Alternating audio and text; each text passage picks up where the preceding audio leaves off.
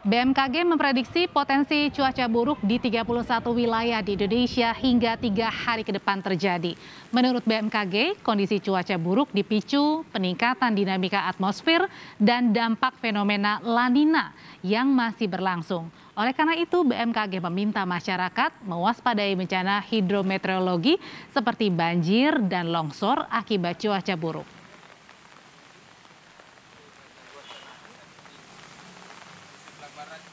Sebagian besar wilayah Indonesia berpotensi hujan lebat, setidaknya sampai dengan tiga hari ke depan.